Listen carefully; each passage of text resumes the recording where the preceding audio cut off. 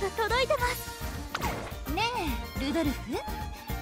今の制服も可愛いとは思うんだけどあと少し変えるとみんなのやる気がアップしちゃうと思うの。制服は急に変えられるものではないが話は聞こう。合点承知の助入れるだけで威厳が出てクールで強そうな女に早変わりするアイテムがあってねけど肩パッド。聞いたことはある。シルエットで印象が変わる話は興味深いな。でしょでしょ。しっかりした肩は強者の証自信あふれるシルエットになったらますますみんな激マブになるって。うん。今度の生徒会で皆の意見を聞いてみようか